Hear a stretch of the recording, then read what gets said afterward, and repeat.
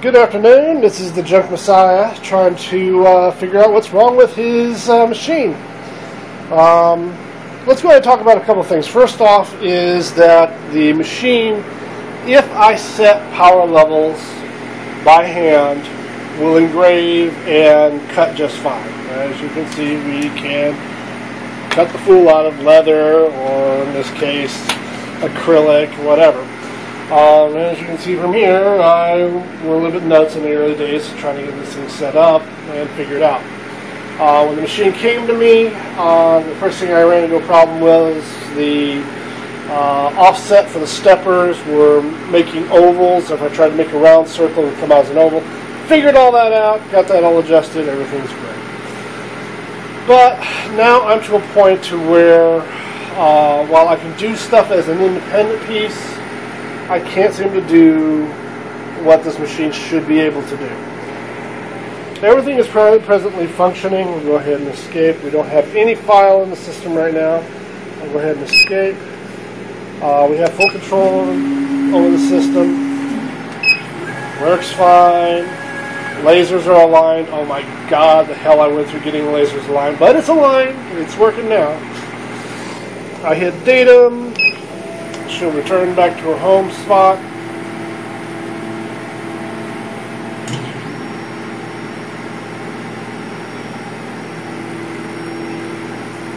Blammo. Alright, so there we are. Everything's um, machine-wise working. So I'm going to go over to the side here and show you what we've got named hardware and where everything's plugged in. Again, I'm hoping one of you guys out there has dealt with this problem I'm about to describe. Uh, there's our line coming from our computer. That's all in there pretty good. Um, everything's set up. It's the uh, Leetro MPC 6535 brain in the unit with the uh, Leetro uh, stepper controllers, power supply, and then my laser power supply is down there everything from this end seems to be just happy, hunky dory as hell. Alright. So, what's my big problem? Well, I'll show you here. What I'm going to go ahead and do here is uh, open up uh, 12, which is Corel Draw 12. Uh, what I'm going to show you is happening to me is happening in all modes, which means whether whether I'm running trying to run LaserCut 5.3 or um, Corel Draw 12 uh, with the plugin for 5.3, uh, it, it, happens. It just it, this is what's driving me nuts. Actually, I have two problems, but this one's the most pressing at the moment. So I'm going to go to File here. I'm going to go ahead and open. This is a file that's already got two layers on it. A engrave layer and a cut layer. Now we are in the millimeter scale. Everything's uh, set up to be converted directly from millimeter. I'm going to go ahead and zoom in. And here's our picture.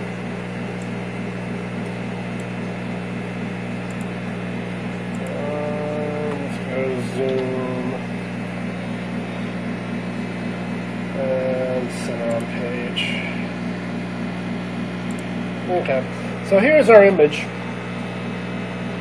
I have a cut layer, which is an outer ring, which is going to cut this out, and the bitmap that's underneath. So everything is basically ready to go. Alright. Uh, first thing I'm probably going to do here, however, is I'm going to show you my settings. It's connecting to the motion card right now. Uh, again, we have the MPC 6535. Our I.O. levels lower level, limit levels lower level, laser modules models PWM. Uh, max power is 100. Machine number one, machine code 1 116 30043. Uh, so that's that. That's my motion card my work table, my numbers are a little bit off on the work table because I was running into an issue early on with uh, Runaway where the uh, servo or the steppers would, for when the image I was working on, would run it all the way to the end and try and smash the uh, laser module or the uh, laser mirror uh, against the uh, frame of the unit. Uh, so I kept it at 1000 by 800, but still a workable range for this unit, which should shouldn't matter in this mat in this case. Um, let me go ahead and see if I can get a clearer image by zooming in and backing up. And you can see my actual settings. Apparently anything in Autodatum, I, I've unchecked Autodatum, I've checked it. Again, this doesn't solve this problem. Here is my cut page.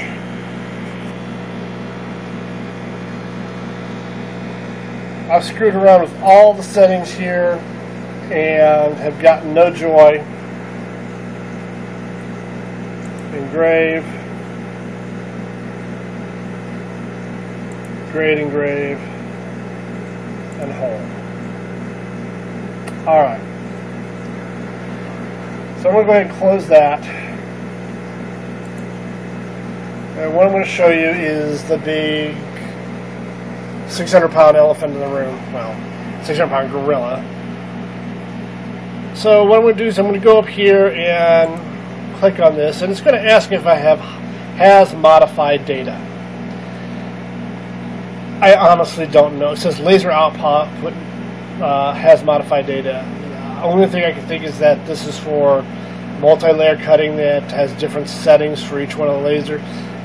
I'm going to say no. I don't know what has modified data does for me. I always love the fact that all of these um, buttons up here come up as uh, Chinese, but all right. So I'm going to say no. No no modified data. All right. So what do we got? Well, we've got a line, which is a cut line, which is the uh, layer that has a ring around the line, and it has grade engrave.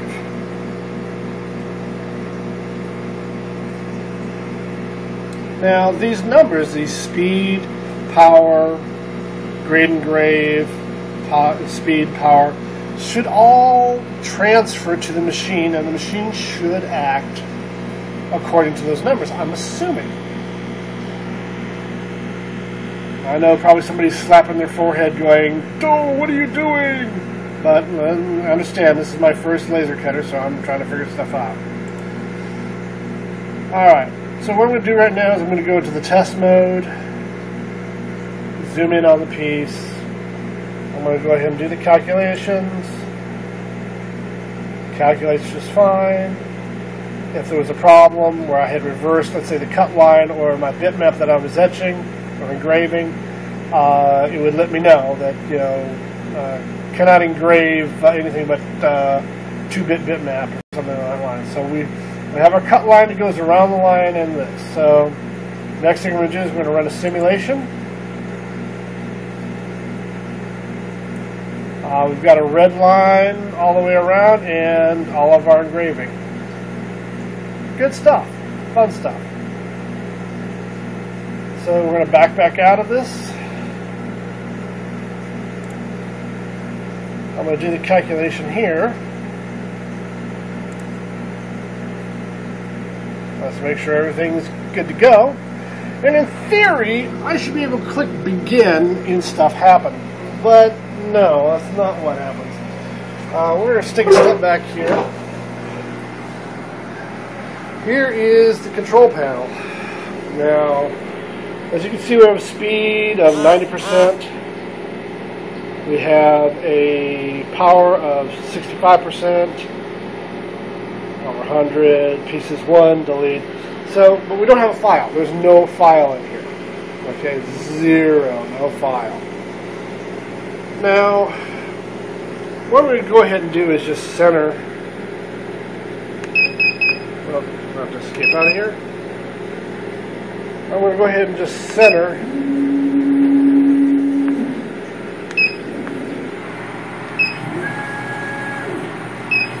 Just going to make a general run here. So we're centered on the piece that we're going to work with. I'm going to come on over here and click begin.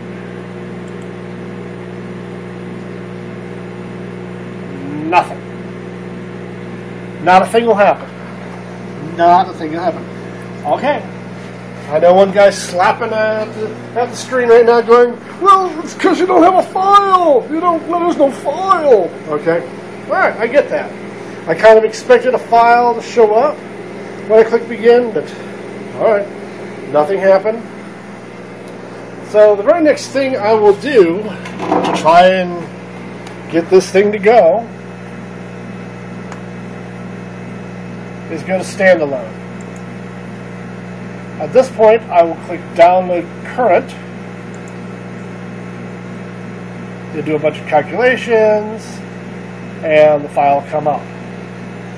I go back over here,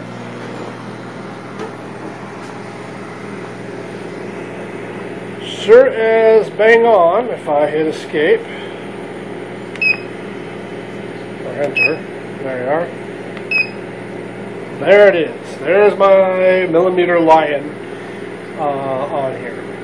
Alright, now keep in mind, this was to etch at one speed and one power, and then uh, cut at another.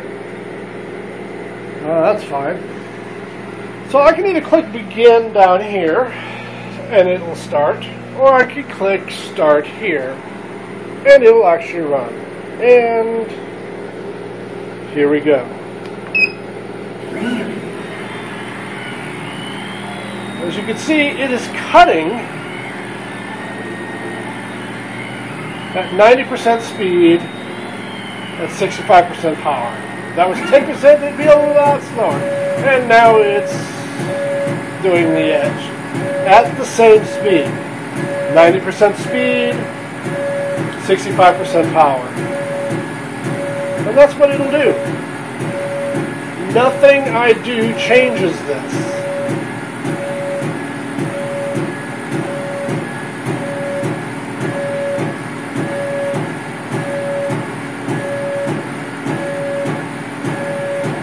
Alright. So we might as well just go ahead and stop this. Has it started etching? Yeah, it's you know, I could feel it. It's it started etching. We could see it there. So now you see my problem. The other problem is is that um, I don't believe I'm going to double check my measurements here in a couple seconds that the size is right because in theory, this should be five and a half millimeters or 50, 55 centimeters across. And it's a lot bigger than 55 centimeters across. At least according to what the original image size is supposed to be. Let me go ahead and go here.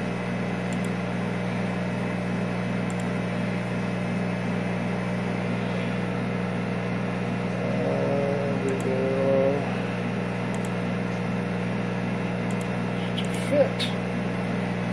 So,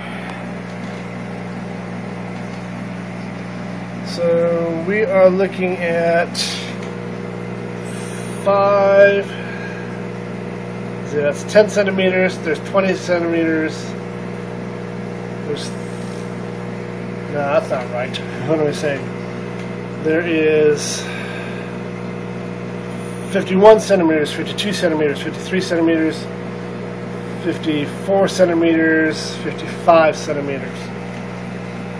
Um, the image size should be 55 centimeters.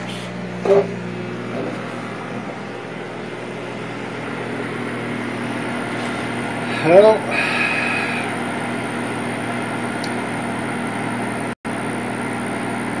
that's 55 centimeters, and as you can see, the size is wrong. So that's the other problem. Nothing I do apparently changes this. Um, if you have an idea how to resolve these issues, please let me know. Save me from myself. Um, otherwise, if I just do an engrave and set all my settings here for that engrave, it'll do it. We'll do multiples of them, yes, as long as the settings are right for it. But I can't do an engrave and then have the machine slow down at a different power level and do my cuts. Okay, it just won't do it. It won't even change it for the um, unit uh, for the engraving. That's about it. I hope that you can help me out, and uh, thank you for your time.